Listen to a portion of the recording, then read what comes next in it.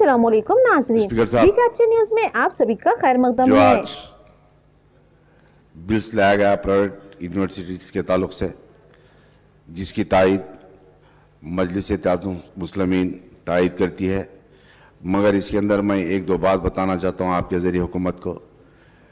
चाहे उस्मानिया यूनिवर्सिटी हो या जे हो या काकतिया हो या जो भी यूनिवर्सिटीज़ है जिसके अंदर कई सालों से प्राइवेट लेक्चरर्स काम करते हैं और फोर कैटेगरी के भी लोग काम करते हैं। इनके ताल्लुक से हुकूमत को सोचने की ज़रूरत है और कई लेक्चरर्स ऐसे हैं कि लोग कॉन्ट्रैक्ट बेसिस पे करते हुए गेस्ट लेक्चरर्स की ऐसे से काम करते हुए कई लोग गुजर चुके हैं और इनके ताल्लुक से हुकूमत को सोचने की ज़रूरत है। फिर एक मरतबा इस बिल की तायद करते हैं।